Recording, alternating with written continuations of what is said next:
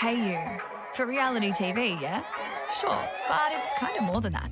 It's for disrupting your half asleep morning routine. It's for those hellish day feels. Nothing a new episode of Real Housewives can't fix. It's banishing the boyfriend for a night watching shows in your sweatpants. For those cheeky Sunday hangovers. Yeah, we've all been there. And for guilt free streaming slash ditching your bra when you walk through the door.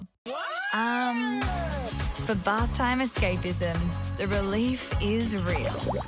It's for when one episode becomes six hours of binging. So what? Blame the true crime section. Get hooked on Hayu. And for $6.99, what's not to love?